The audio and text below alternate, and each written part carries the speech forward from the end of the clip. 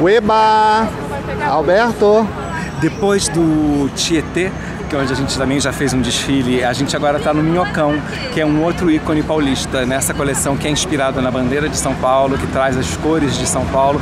Esse lugar aqui que é a verdadeira praia dos paulistas, uma das praias dos paulistas. Então a gente está fazendo um desfile em cima de um viaduto cercado de camarotes, de camarotes A, de camarotes fila A são vários convidados que a gente estão aqui com bandeiras festejando esse dia, esse céu azul incrível para festejar São Paulo.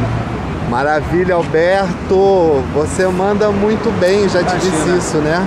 Imagina, dá, é uma tensão aqui montar, porque é uma estrutura muito grande, é uma passarela muito longa, geralmente uma passarela tem 30 metros, essa está com 100, mas a gente vai tentar ocupar o espaço. Além dos modelos, temos 15 atores, modelos convidados, que vão estar também aqui ocupando o espaço, como se fossem transeuntes, como se fossem pessoas que passam de bicicleta, de skate, que passeiam por esse lugar, ocupando e transformando essa rua numa verdadeira cena urbana. Maravilha, e eu queria aproveitar aproveitar o momento, que é mais do que adequado, para te dizer que eu estou amando Nomes da Moda no Fashion TV. Ah, amando. Ótimo. Eu vi o, o, o Oh meu Deus. Qual deles? Do Sommer, o Fraga, do, do Ronaldo, eu Fraga, vi o Ronaldo.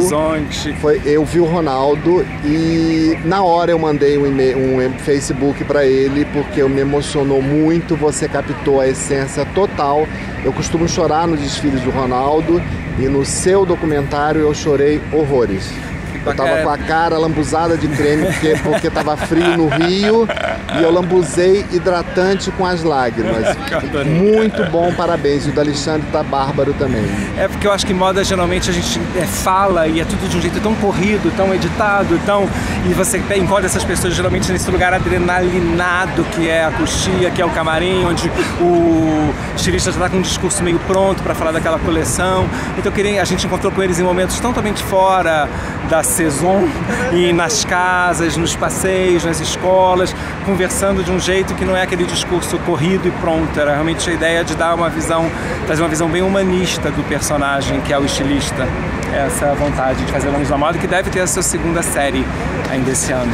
Ueba! Ueba. You got it! Um super beijo. Beijo, gente. Tchau, Tchau obrigado.